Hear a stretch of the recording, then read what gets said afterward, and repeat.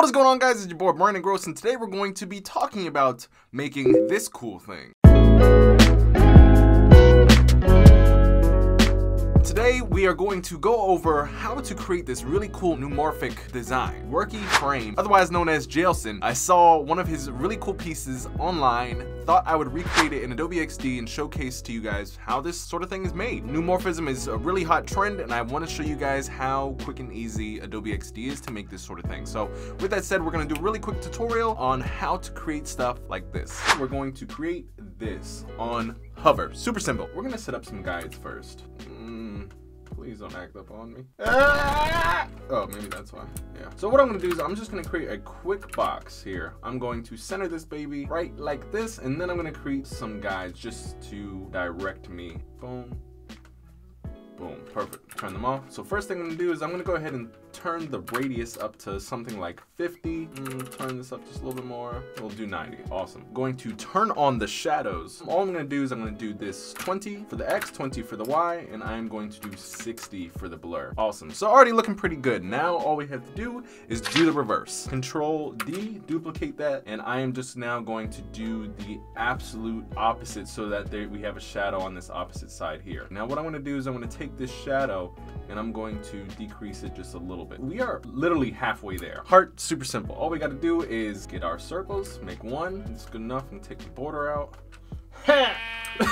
I'm gonna duplicate that. Got balls, boy. So, square. Make the square the same color as the rectangle or the circles. Rotate this, put it in the center of these circles, pull this down, and then we are going to unite this here. Funky. So the heart takes a little finagling, but you get it. So boom, we have this, and all we're gonna do is we're gonna kind of do the same thing that we did for our button here with our heart. All we're gonna do is we're gonna make a shadow. We're gonna just make it a hard edge, and we're gonna make the shadow super dark. So in this, we're gonna do white edge here, and we're gonna do a gray edge out there. We're gonna make this white. We're gonna duplicate it. Now we're gonna make this negative. Now we can make this gray. Awesome. We're gonna go ahead and group this. You'll see what happens after uh, we do some editing here. So what I'm gonna do is I'm gonna go back to our button here. What we have to do is we have to make a gradient on top of here. We go to fill, linear gradient, and we have our gradient starting off here. I'm gonna pull the white all the way to the bottom, the dark all the way to the top. Actually, we're gonna do the reverse. There we go. So what we're gonna do now is we're gonna pull this in a little bit. We're gonna do three points instead of two. Make this a little bit lighter and we're gonna take this color and also make it a little bit lighter. There we go. So three point gradient. So now we're gonna go ahead and bring our heart in. Now you can see how it has this cutting edge on the side. We're gonna actually go in and edit this just a little bit. We're gonna make these non-opaque edges. So this is gonna be gray. And then for the bottom heart, I'm gonna do the same thing gonna make the white a hard white and I'm going to make it a one and one in the Y. Very nice. We're basically there. So all I'm gonna do is I'm just going to center these two pieces up together and we're basically where we need to be with where our heart is. Obviously our heart is a little bit darker, but that's fine. Simple stuff.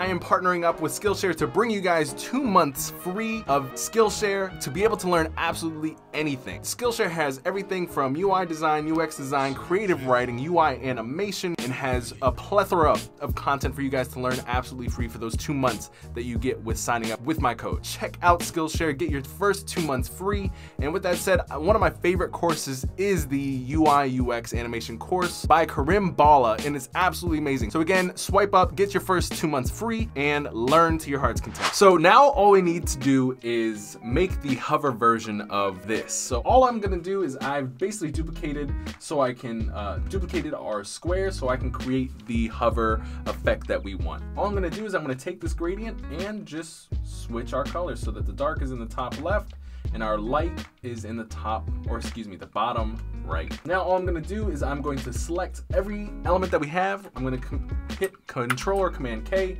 to make a component, and now I'm gonna go over to our component states, hit the plus button, hit hover state, and now here's where the magic happens. All I'm gonna do for our default state, I want it to be our pushed out version. We don't have to hide it. All we have to do is hit zero twice and have the opacity go down to zero. I'm gonna click on our main component, click on hover state. I want to unhide or turn the opacity of our press version all the way up. So I'm just gonna hit zero so that the opacity goes to 100%. That's pretty much it, but I also want the heart to expand. So I'm gonna hit Alt Shift and just drag the heart up. Just click the component, just make sure that this is working. Default, hover state, excellent. We're gonna click on prototype. We're gonna do auto animate, ease in, in, out. And we're gonna turn this maybe to 0.6 seconds. Now we can go to play and we have our wonderful and really simple animation. So guys, this is how I created the first version of this animation. You can spend time making it more smooth, but this is basically how you create something like this. I hope you guys enjoy and let me know if you guys like stuff like this. Was it too long? Was it too short? Or what more things do you want tutorials on? I would love to know. All right guys, this is it. Your favorite designer and hype beast, Brandon Groce,